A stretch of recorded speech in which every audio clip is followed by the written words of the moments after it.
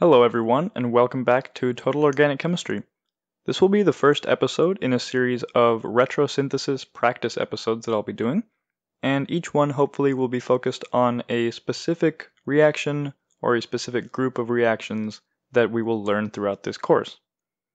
I will always have an easy reaction, a medium one, and a hard or difficult reaction for different levels of students of organic chemistry, so if you're interested in a specific difficulty of reaction or retrosynthesis, those timestamps for each reaction will be marked in the description and also in the video timeline.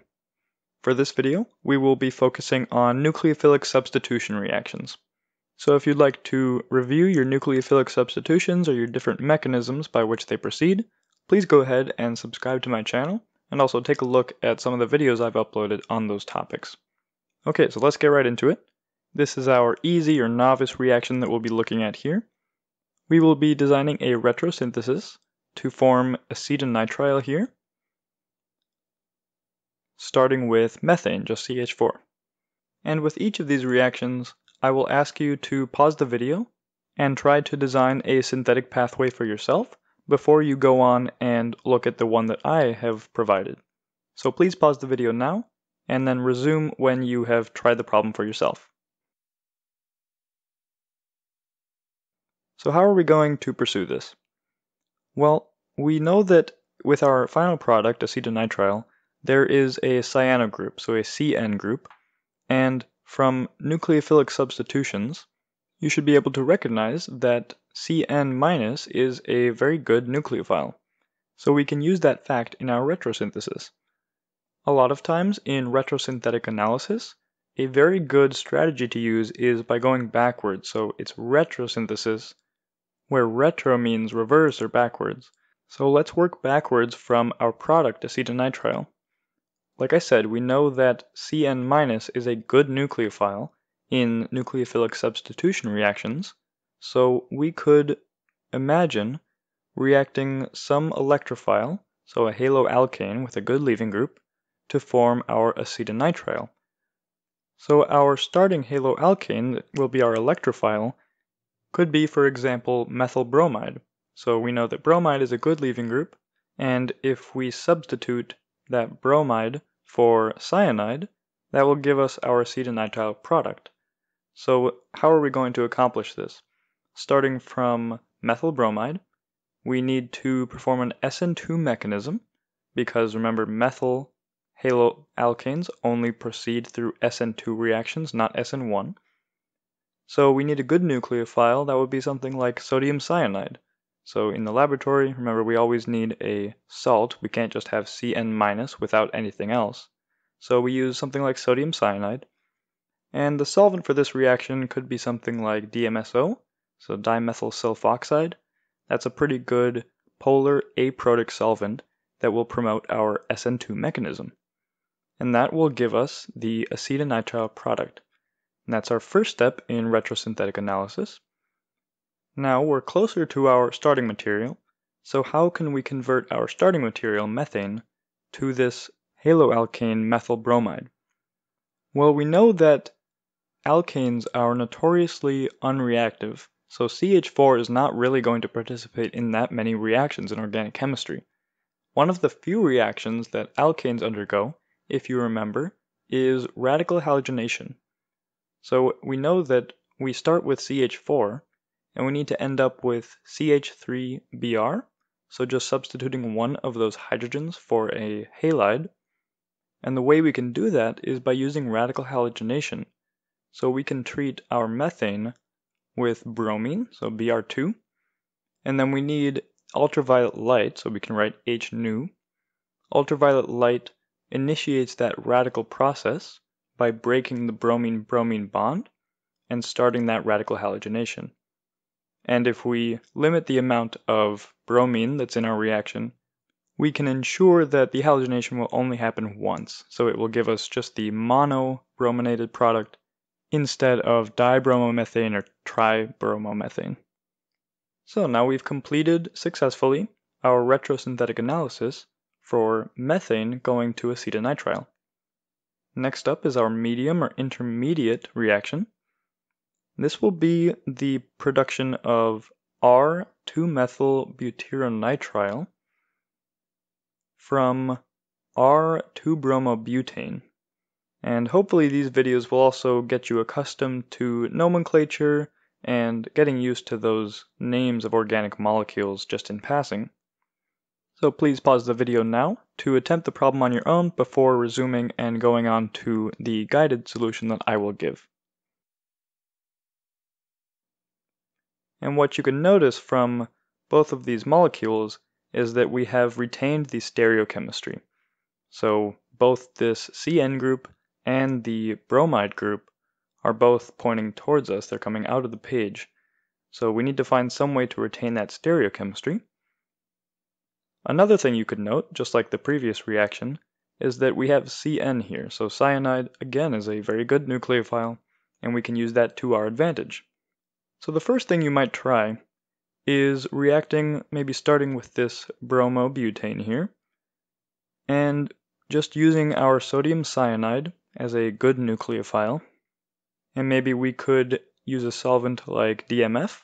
So NN dimethylformamide is also another good polar aprotic solvent. So because we have a good nucleophile and a polar aprotic solvent, even though we're on a secondary haloalkane, this will still proceed through mostly SN2 kinetics. So we're making sure it's going to go through SN2 and not an SN1 mechanism because of our good nucleophile and relatively unhindered substrate and the solvent. However, if you remember your SN2 stereochemistry, you'll know that it undergoes Walden inversion, so inversion of stereochemistry at that stereocenter, which will give us this cyanide group, so the CN group, but it will be pointing into the page. So we've actually inverted the stereochemistry, which is not what we want. So we'll have to think of another process to obtain our product. Okay, so this is a good trick to be able to know, and that trick is using two consecutive SN2 reactions to accomplish this retention of stereochemistry. So what we can do is, starting with the bromobutane, we could use an intermediate nucleophile as sort of a stand-in for our SN2 reaction. So what we can do is use maybe sodium iodide so we know that iodide is a good nucleophile in SN2 reactions. And again, let's just stick with DMF as our polar aprotic solvent. This will give an inversion of stereochemistry here. So the iodine will be pointing into the page with that dashed bond. This will be an SN2 reaction, just like the previous one. And then it's pretty straightforward to figure out the last step. So we can just use, again, sodium cyanide again in DMF, to form our butyronitrile product. So with that cyano group, now we have inversion of stereochemistry a second time, but where we've inverted the inverted stereochemistry. So overall, we've retained the same stereochemistry as the starting material. So using two SN2 reactions consecutively is a good technique to be able to retain the enantiomerically pure starting material. Finally, let's look at our harder reaction here. This will be, our product will be tetrahydrofuran, or commonly THF, and we'll be producing that from this molecule here, 1,4-dibromobutane. Again, please take a couple minutes and try to solve this for yourself. So pause the video and then come back when you are ready. The first thing that's very useful to look at in retrosynthetic analysis is how many carbons you have. So we can count the carbons in each of our starting material and product, and notice that they both have four carbons. So we don't need to add or subtract any carbons, which is a good sign for us. We're just messing with the functional groups. Another thing that is common in retrosynthetic analysis is a ring closing reaction. So again, we're starting with an acyclic compound, so that's our dibromobutane, and our final product will be cyclic, so we're going to be closing a ring at some point in the reaction sequence.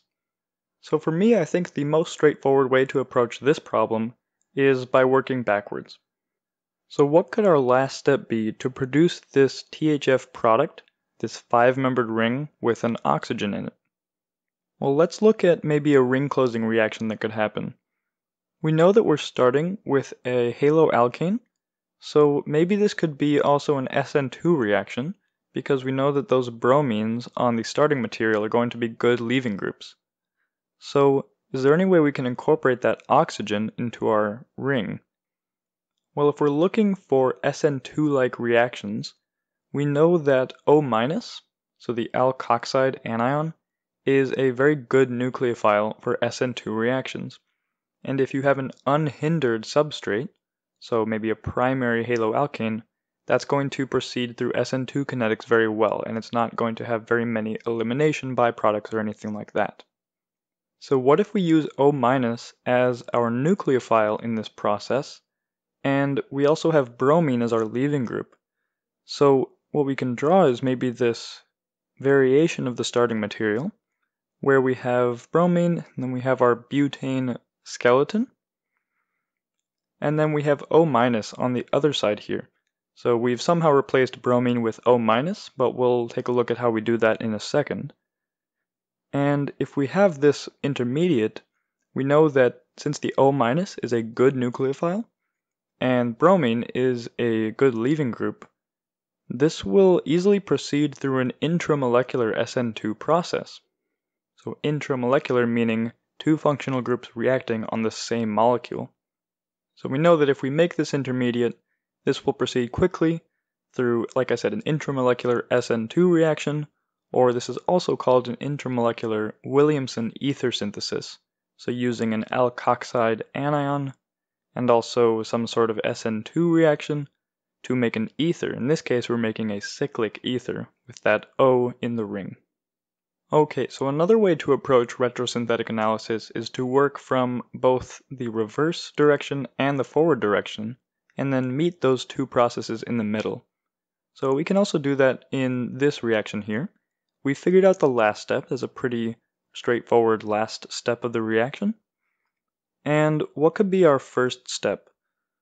We know that we need to somehow convert bromine into an O- minus functional group on our starting material, and O- minus is pretty close to OH, so we could think of replacing one of these bromines with a hydroxyl group.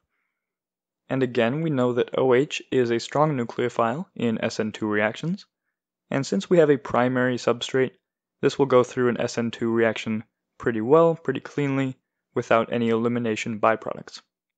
So to replace just one of these bromines with OH, we can treat our starting material, the dibromobutane, with NaOH, and we'll specify that we're only treating it with one equivalent of NaOH, so we only want to substitute one of those bromines and not both of them for the hydroxyl group. And if we use a solvent like DMSO again, so dimethyl sulfoxide, that polar aprotic solvent, that will pretty cleanly proceed through an SN2 mechanism. And that will yield us with this difunctionalized compound. So we have a bromine, so a haloalkane on one carbon, and then an alcohol functional group on the other side of the molecule. So that's great. Now we have our alcohol and our bromine. And the last step we need to figure out is how to produce the O- minus anion from the OH. So there are several ways to do this, but one of the ways you could do is by throwing some sodium metal into this alcohol. And what sodium metal does is reduce the H plus to hydrogen gas. So what happens is that sodium will take off the H plus from a couple of these alcohol molecules. It will give off hydrogen gas in the process, and what we end up with is the alkoxide anion. So that will bring us to our last step, which we've already figured out. So this will be our retrosynthetic analysis for this kind of expert reaction.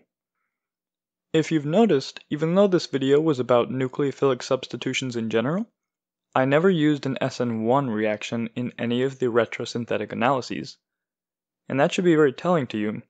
And the reason is that SN1 reactions are not actually very useful in organic synthesis. So why is that? Well, if you're comfortable with your SN1 kinetics and the properties of SN1 reactions, you should remember that SN1 reactions always generate racemic mixtures of products. So we don't get any enantioselective reactions with SN1 reactions, whereas with SN2 reactions, they will always invert the stereochemistry. So if you're looking for an enantiomerically pure product, and you have to throw away half of your product in order to just get that one enantiomer, that is an incredible waste of money and waste of time where you could use an SN2 reaction or a different reaction to make that cheaper and more efficient. Another reason is that SN1 reactions are often accompanied by E1 elimination products. While it's easier to limit the amount of E2 products when you're working with SN2 reactions, it's very difficult to limit the elimination byproducts when you have an SN1 pathway. So for that reason, you would have to throw away even more of your product if any of it followed the elimination pathway rather than the substitution. Sometimes SN1 mechanisms are unavoidable in organic synthesis, but most of the time we try to look for a more efficient and a more a cleaner pathway instead of an SN1 process. So I hope this video made you more comfortable with retrosynthetic analyses and designing syntheses using nucleophilic substitution reactions. If you enjoyed this video, or if you learned anything, please like and subscribe to my channel. Also, like my page on Facebook at Total Organic Chemistry, and as always, if you are able, please consider donating to my Patreon page, which I will link in the description. Thanks for watching.